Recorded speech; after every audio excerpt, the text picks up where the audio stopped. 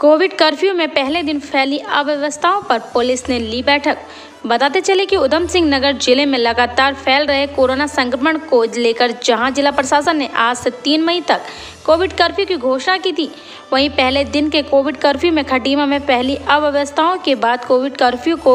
Covid नियमानुसार लागू करने को लेकर पुलिस क्षेत्र अधिकारी मनोज ठाकुर ने कोतवाली खटीमा में व्यापार मंडल प्रतिनिधि, मेडिकल स्टोर स्वामियों ई रिक्शा संचालकों व ऑक्सीजन संचालकों के साथ बैठक की। बैठक में खटीमा तहसीलदार यूसुफ अली भी शामिल रहे।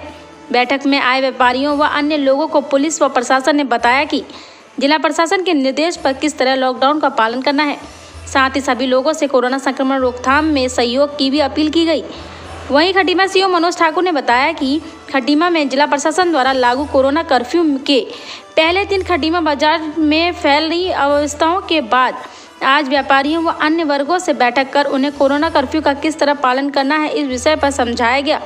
वहीं पुलिस प्रशासन का पूरा प्रयास रहेगा कि कोविड संक्रमण रोकथाम हेतु लगाए गए कोविड कर्फ्यू का खटीमा क्षेत्र में पूर्ण पालन करवाया जा सके। देखिए, जैसे ये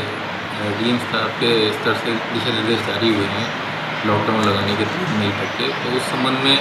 आज जो थोड़ी अवस्था रही बाज़ार में, उसको लेकर व्यापार मंडल के प्रतिनिधि और मेडिकल स्टोर वालों और रिक्शा चालकों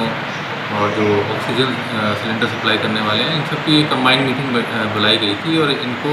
इन दिशा निर्देशों से अवगत कराया गया और इनकी समस्या जो है उसका इन्हें सोल्यूशन बताया गया कि किस तरीके से कोविड का गाइडलाइंस का पालन करना और लॉकडाउन का पालन कराना है। तो इसी संबंध में मीटिंग बुलाई गई